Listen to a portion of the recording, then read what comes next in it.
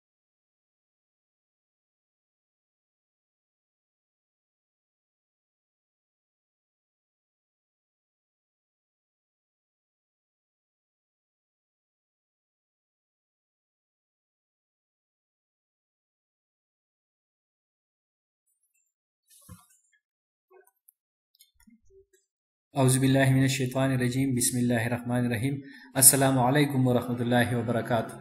د سواد کالج ریکورډ سواد چې کوم دی هغه د یو نوی لیکچر سره ساس مخ په وړاندې باندې دی او نننې لیکچر چې کوم دی هغه زموږ سره دی کوارډینیټ کوولنت بانډ ار ډیټیو بانډ نو زموږ سره د نه مخکې لیکچر چې کوم هغه ټایپس اف کوولنت بانډ باغې باندې لکش انتي نظر ثاني کو نو سنگل بانډ موږ چې کله زموږ سره ون پیر اف الکترون زموږ سره راځي او جوړه د الکترون راځي نو موږ دا سنگل کوولنت بانډ نه کپرس کا ټو پیرز اف الکترون راځي نو موږ دا زموږ سره یعنی پور الکترون پکې راځي او دوه جوړې راځي د الکترون نو موږ وایي دا زموږ سره ډبل کوولنت بانډ دی او دغه شان که پرس کا 3 پیرز اپ الکترون راځي یعنی 6 پکې الکترون راځي او درې جوړې الکترون راځي نو موږ وایو دا زموږ سره ټریپل کوولنت باند دی نو دغه شانتي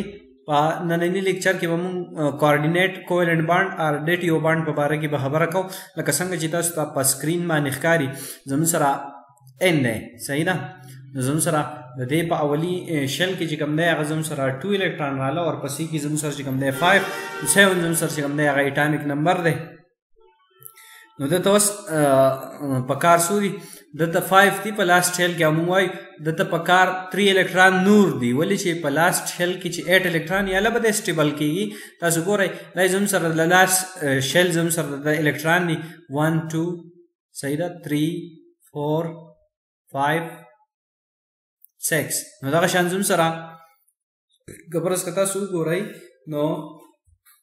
هایدروجن زم سره درې ول زم سره هایدروجن را ل 15 د سر خپل الکترون صحیح شو نو اوس به دای سی چل کوي دی به دغه درې هایدروجن سره خپل سنگل کوولنت باند به جوړي چې کله سنگل کوولنت باند جوړ کی نو یاد ساتي چې کم زنو سره په باند کې چې زنو سره کم الکترون یي صحیح ده تاسو چې ګورئ دا جوړه ده دا یو د هایدروجن دی یو زون سره د نایټروجن دی زم سره یو الکترون دغه شان دا یو د هایدروجن دی یو د نایټروجن دی دا هم یو د هایدروجن دی یو د نایټروجن دی نو اوس د په کار درې درې الکترون دي نو دا درې الکترون به د هایدروجن نه والي کله چې دا درې الکترون دی د هایدروجن نه والي نو چې کم الکترون زمون سره په باند کې نو موږ وایو دا زمون سره باند پیر دی کم پیر دی باند پیر دی مطلب چې کم الکترون بانډینګ کړی د بل اټم سره د یو اټم د بل اټم سره په دغه پیر اپ الکترونز کې موجود دي نو موږ وایو دا زموږ سر چې کوم دی دا بانډ پیر دی خو د دې نه علاوه چې کوم دی کم چې په بانډ کې نه موجود نو هغه ته موږ وایو مطلب دا دوه په بانډ کې نه دي موجود دا دوه الکترون نو دا لان پیر دی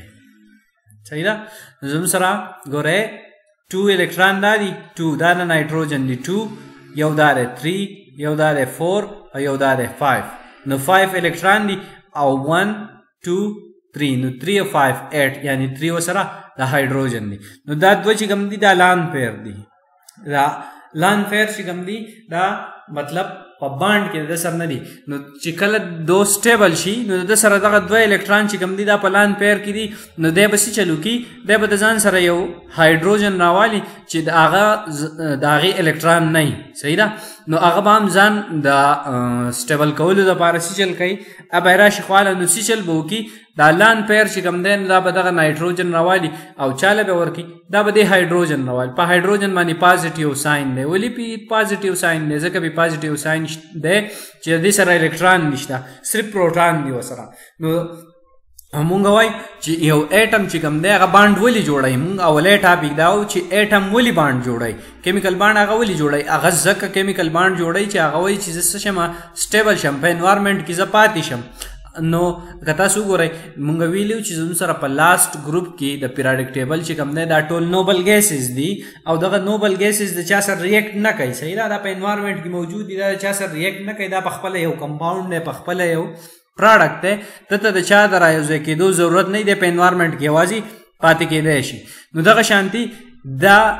د د سره اوس نشته الکترون صحیح ده نو دی په پازیټیو ساين ساين کې ده او دی وایي چې زه دغه نوبل ګیسز ته دا کم کنفیګوریشن دی هغه ته واوړم نو دا به الاوډي چې موږ وایو کپرس ک یو اټمی او داغه نور شل نه نه صرف یو شل نو اته ضرورت دوه الکترون دی موږ ویلي چې په اس کې دوه الکترون راځي په اولی شل کې دوه الکترون راځي نو د سلیپ د دوه الکترونو ضرورت دی نو سی چل به وکي دا نایټروجن به د خپل لان پیر چې کوم دی دا به د لور کی چې کله د لور کی نو دی به د ځان سره سټیبل کی نو دی چې د ځان سره سټیبل کی نو موږ به سی چل وکړو د دې د سټرکچر به بیا موږ څنګه واسو تاسو ګورئ دلته کې نایټروجن د هایدروجن سره سنگل باند دلته کې دی دلته سنگل باند دی او دلته سنگل باند دی او دا کم ساين چې تاسو ته د ایرو د ښکاری صحیح ده دا هایدروجن هم د ځان سره سکو سټیبل کو نو د ایرو ته موږ وایو چې دا زم سره سره کوارډینیټ باند دی کوارډینیټ باند چې کوم دی هغه د هغه ساين زم سره سره د ایرو دی صحیح ده مین بل خبره پکې دا چې دا هغه نه مخ کې دا بل مثال وا دا H2O دا مثال بام پیش کوو دا هغه نه مخ کې یاد ساتي چې څوک د غلان پیر ور کوي نو دغه الیمنت به ډونري سبای ډونر به ورکول والا به صحیح ده او سو کی چې اخلي نو هغه به ایسپټری تاسو ګورئ د اټم وچ ایکسپټ دی لان پیر اپ الکترون از کالډ دی ایسپټر نو زم سره په کوارډینیټ کوولنت باند کې به ایسپټر هغه یو وی چې چا د غلان پیر اغیستی او ډونر به هغه یو وی چې چا ورکړی نو اوس ګورو H2O کې په H2O کې تاسو ګورئ دا اکسیجن زموږ سره اټامیک نمبر چې کوم دی هغه 8 دی او د هایدروجن اټامیک نمبر چې کوم دی زموږ سره سره 1 دی صحیح ده 1 الکترون دی پکې او د اکسیجن زموږ سره چې کوم دی 8 الکترون دی نو په اولی کې دوه رااله په ورپسې کې 6 رااله او موږ په لاست چیل کې د 8 پکار دی چې د سټیبل شي نو د ځان سره دوه هایدروجن یو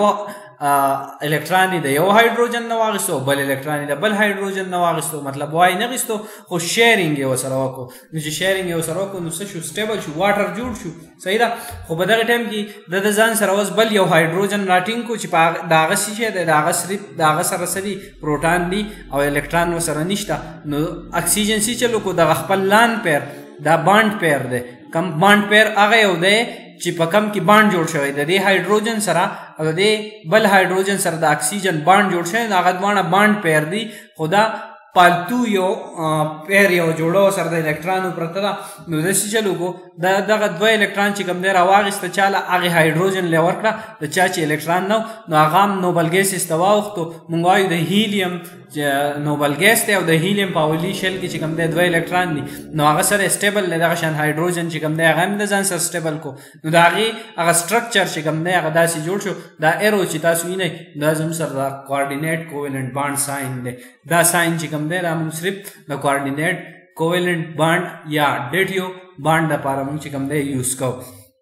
نو زموږ سره یاد ساتئ چې کله باند په باند کې چې کوم الکتروني دی هغه الکترون نشي ورکولای ولې چې هغه باندینګ کې دي کم چې وسره پالتوي یعنی لان پیر کې وسره کم موجودي نو هغه هغه جوړه ورکړي نو چې کله هغه جوړه ورکړي نو چې کم الیمنټ ورکړي نو هغه ډونر الیمنټ دي کمی چې اخلي هغه به ایسپټر الیمنټ دي نو دغه شان آی هوپ زم چې تاسو په دې لیکچر باندې پوه شئ او څه قسم مشکلات نو باقاعده تاسو کمنټس کولای شئ او زموږ ویډیو چې کوم دی تاسو لایک کړئ شیر کړئ او که پرس که نوی کم آډینس نو خامخا زموږ چینل چې کوم دی هغه سبسکرایب کړئ بیل آیکان ضرور دباو کړئ چې زموږ کوم نوی لیکچر راځي چې د هغې باقاعده نوټیفیکیشن تاسو ته کېږي د نوي بل لیکچر پورې خپل خیال ساتئ د الله په امان